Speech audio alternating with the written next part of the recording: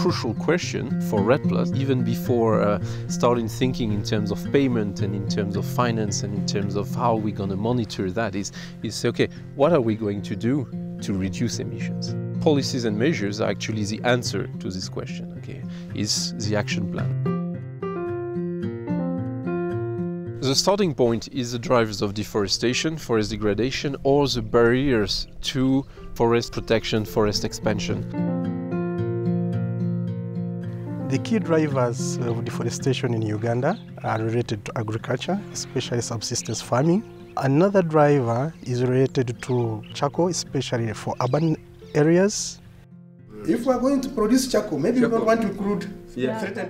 Over the past uh, one and a half years, a lot has been done to establish reference levels. Uh, there is a lot of work on mapping so that we get time series maps. Uganda is one of those few countries that have got a lot of historical data on both mapping and inventory. From the 90s, Uganda started collecting data on biomass even outside protected areas. Reforestation has already been identified as one of those interventions that will reduce pressure on the natural forests.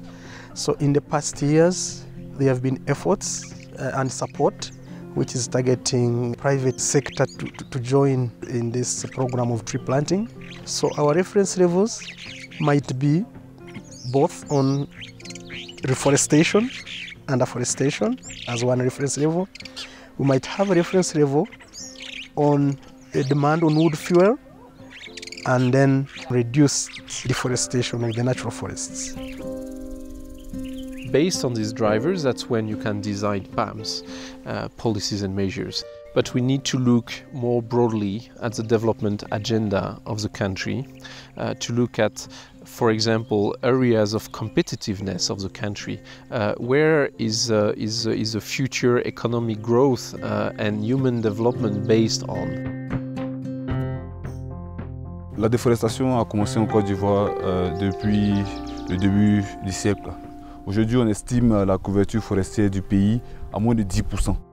Cela est dû à plusieurs facteurs, dont le principal, c'est l'agriculture. Et dans le cas de la RED, le pays, effectivement, veut adopter une agriculture zéro déforestation. Le pays euh, entend travailler sur deux piliers. Une approche au niveau des différentes filières agricoles. Principalement, les grandes filières, c'est le cacao, le palmier à huile et l'EVA. Essayer de les engager vers cette politique qui vise effectivement à éliminer la déforestation dans la chaîne d'approvisionnement. Il s'agit de mettre en place un système de traçabilité au niveau de, ces différentes filières-là, afin que nous puissions contrôler l'évolution. Il y a aussi les petits producteurs. Et face à ces producteurs-là, euh, la politique, c'est d'essayer de trouver des incitations nécessaires qui vont permettre d'adopter de nouvelles pratiques. Et en ce moment, on pense à des politiques euh, d'incitation de type paiement pour services environnementaux qui va permettre effectivement d'accompagner les producteurs, de les inciter à adopter des pratiques durables, mais aussi d'impliquer le secteur privé dans le changement des pratiques. C'est-à-dire qu'il faudrait que le secteur privé puisse investir dans l'intensification agricole, dans l'encadrement des petits producteurs. Et ensuite, euh, il s'agit d'apporter une autre approche qui est l'approche territoriale. Et cette approche territoriale, vise effectivement à répondre aux besoins énergétiques des, populations à travers l'adoption par exemple de, des systèmes agroforestiers où nous allons introduire des essences forestières utiles pour le bois énergie. Mais aussi l'intensification va permettre de libérer des espaces déjà occupés et là, au niveau de ces espaces-là, nous allons pouvoir reboiser. La question du foncier et euh, de la délimitation des terroirs villageois, c'est un véritable défi. Parce qu'aujourd'hui, on a une loi forestière, une loi foncière qui est bien, sauf que dans l'application, euh, cette loi-là rencontre des problèmes liés à la, complexité des procédures, mais aussi au coût. Au coût. On a affaire à des petits producteurs déjà qui n'ont pas les moyens même d'intensifier leur production. Et donc c'est clair qu'ils n'ont pas aussi les moyens d'assurer la sécurisation du foncier. One of the key challenge in designing the PAMs is that then, I mean, you, you need to reach out to other sectors uh, to make sure that I mean you really start from existing policies and measures in the country, and then build on them okay, to uh, to make them kind of REDD compliant. Okay, um, so you need to look at your agriculture policy, at your energy policy, at your infrastructure policy. Cocoa traditionally has been the economic backbone of Ghana for over uh, a uh, hundred years. We're recognizing that uh, cocoa is a major driver of uh, deforestation, uh, mainly having to do with uh, conversion of large swathes of forest lands to cocoa plantations. So our approach for implementing this very ambitious program is looking at intersectoral uh, coordination because this is not just a forestry affair. One of the key things we are doing is, is to ensure that we have all the important uh, players at the table.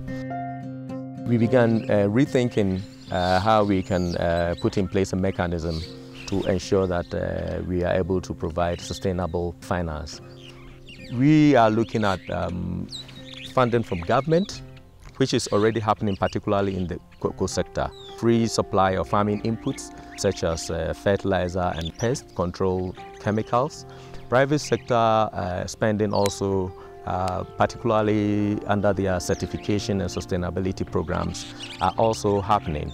And then under the FIP, we have various investments uh, that have already been planned to look at uh, restoring degraded uh, forest lands very difficult for ministry to talk to each other and to combine different objectives. So we tend to have uh, policies that are, uh, I would say, uh, uni-targets, okay, that only targets one major goal.